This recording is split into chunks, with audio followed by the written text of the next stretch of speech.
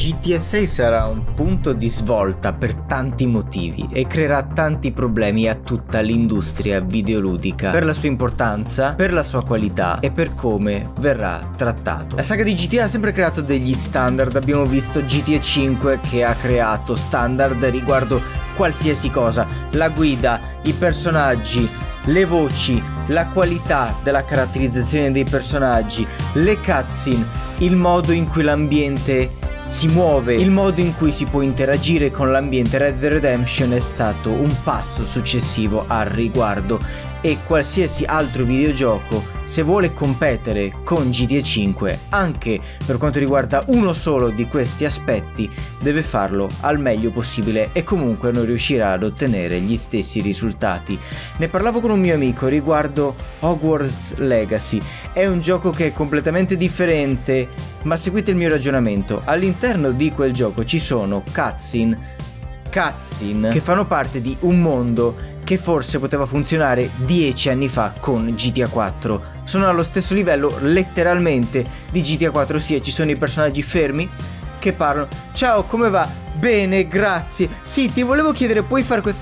Siamo a quel livello, invece su GTA 5 abbiamo delle cutscene molto più caratterizzate, molto più dinamiche e molto più coinvolgenti. E ne parlavamo proprio mettendola a paragone con GTA 5. Questo fa capire quanto GTA 5 sia entrato in maniera dirompente nella cultura videoludica anche di chi in realtà non lo gioca. Per la guida vale lo stesso discorso, quanti videogiochi di guida ci sono in cui appunto il sistema di guida è molto più realistico ma che non hanno lo stesso feeling e che non creano lo stesso gradimento da parte del giocatore appunto nel guidare. Possiamo prendere Gran Turismo, Forza Horizon 5 sono i primi esempi che mi sono venuti. La guida è nettamente superiore a livello di realismo a quella di GTA 5, ma è davvero più bella da vedere. Se ti servono soldi su GTA comunque link in descrizione. GTA 5 è riuscito a creare tutta una serie di circostanze e tutta una serie di effetti all'interno della mente del giocatore, effetti indiretti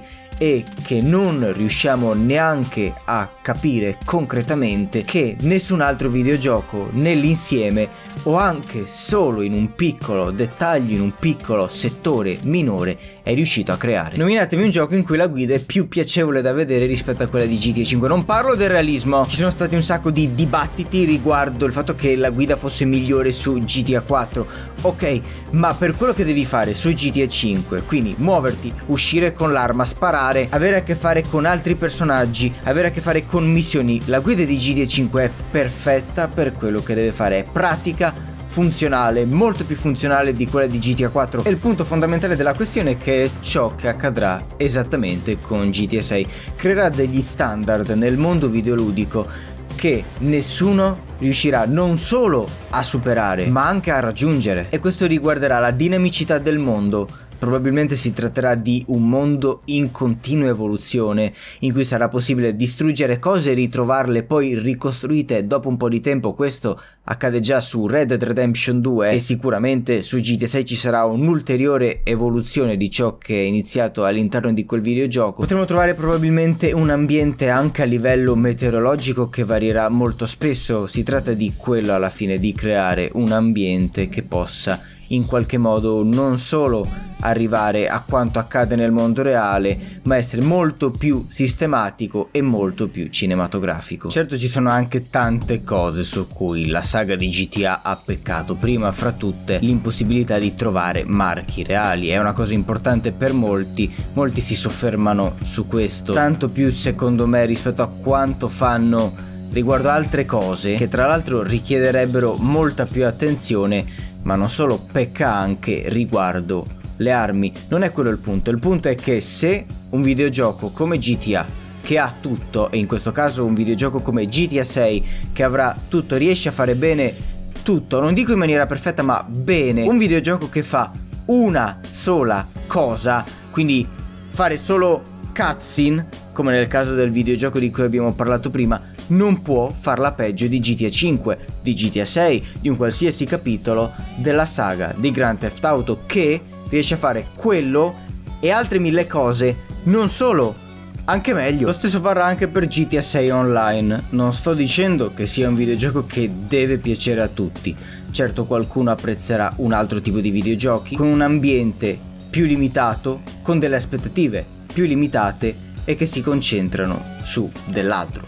Molti apprezzano i videogiochi di guida, li apprezzano molto di più rispetto alla saga di Grand Theft Auto. Non si tratta di apprezzamento, si tratta di un valore oggettivo che nell'insieme nessuno è riuscito a raggiungere. Ed è un po' questo ciò che ci si aspetta da GTA 6 perché qualcosa di nuovo, qualcosa di dirompente non lo potremo di certo vedere. Non me lo aspetto nemmeno. Non mi aspetto qualcosa che ti faccia dire Oh cavolo, questa cosa non l'avevo mai vista. Cioè che mi aspetto è Oh cavolo, questa cosa fatta in questa maniera, così bella, così funzionante, così viva, così immersiva, non l'avevo mai vista. Mi aspetto di vedere qualcosa che già conosciamo in altre vesti, in vesti molto migliori. E per quanto mi riguarda, la maggior parte delle cose che esistono all'interno dei videogiochi, in maniera generica, ma di esempi se ne potrebbero fare tanti, non vengono fatte nella maniera migliore possibile. E quando provi un capitolo della saga di GTA, ti rendi conto che quasi nulla del mondo dei videogiochi è fatto al meglio.